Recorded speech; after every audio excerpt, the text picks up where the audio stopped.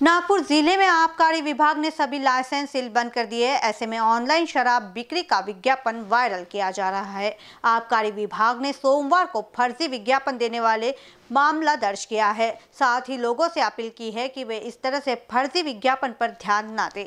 पूरी तरह लॉकडाउन किया गया है, फिर भी बड़े पैमाने में अवैध तरीके से शराब की खरीदी बिक्री की जा रही थी, जिन पर आबकारी विभाग कार्रवाई भी कर रहा है, लेकिन अब लाइसेंस भी सील बंद किए गए। ऐसे में दुकानदार या कोई भी व्यक्ति शराब नहीं बेच सकता। ऐसी स्थिति में भी सोशल मीडिया पर शराब की ऑनलाइन बिक्री की जाएगी। शराब ऑनलाइन उपलब्ध है। इसी तरह के फर्जी विज्ञापन डाले जा रहे हैं, जो कि पूरी तरह से नकली है। ऐसे विज्ञापन का प्रचार प्रसार करने वालों पर भी पुलिस कार्रवाई कर रही है। सोमवार को आबकारी विभाग ने तुकड़ोजी चौक स्थित श्री वाइन शॉप के नाम से ऑनलाइन शराब मिलने का विज्ञापन देने वाले के खिलाफ मामला दर्ज किया।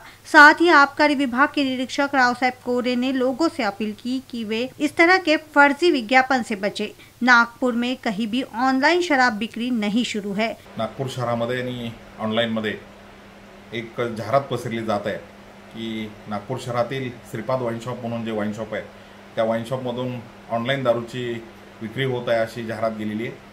आणि त्या इस्माचा नंबर बघितला तर नंबरही त्या नंबरवर कॉन्टॅक्ट केल्यानंतर तो टोकन भरा म्हणून सांगतो. आणि टोकन भरल्यानंतर तुमचा नंबर ब्लॉकला टाकतो. अशा पद्धतीनं कुठेही नागपूर शहरात ऑनलाईन दारूची विक्री सुरू नाही. आम्ही खात्री केलेली आहे. पण ती शुद्ध फसवणूक होत आहे लोकांची. लोकांनी जागरूक राहावं आणि अशा जाहिरातीला बळी पडू नये म्हणून विनंती करण्यात येत आहे. इन बी न्यूज के लिए एकता गहरवार की रिपोर्ट